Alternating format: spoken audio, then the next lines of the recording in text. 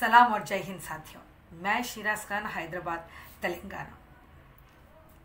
साथियों और दोस्तों, मोदी जी ने लेबर लॉस को लेकर देश के सारे श्रमिक भाइयों को टारगेट किया है।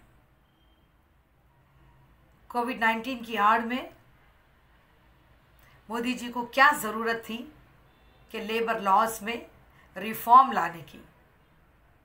उन्होंने मजदूरों की मजदूरी का जो समय है, आठ घंटे काम करने का, उसको वो बदल कर बारह घंटे कर दिए गए हैं।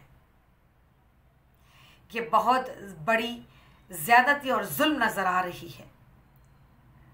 ये इसलिए कर दिया गया है ताकि कल के भारत में पूंजीपतियों को या उद्योगपतियों को वो सारे अथॉरिटीज़ या अख्तियार दिए जाएँगे, जहाँ पर वो मजदूरों के साथ कुछ ऐसे नियमों को लागू कर कर सारे देश के श्रमिक तबके को या लेबर्स को ये टारगेट करते हुए गुलाम या बंधक बना दिए जाएँगे।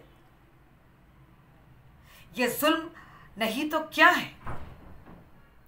जिस कानून को श्रमिकों को लेकर बाबा साहेब अंबेडकर ने आज़ादी के समय इन्हीं मजदूरों को न्याय दिलाने के लिए बहुत सारी मशक्क़ और मेहनत की थी। लेकिन आज उसी कानून को लेबर्स के लिए बंधक बनाने का एक नियम लागू किया जा रहा है। जिसको हम बर्दाश्त नहीं करेंगे। इसीलिए इस मुहिम में जुड़ने के लिए हम सब एक होना ज़रूरी है। इस देश में जो रिफॉर्म्स लाए जा रहे हैं, महज इस देश को गुलाम बनाने के लिए।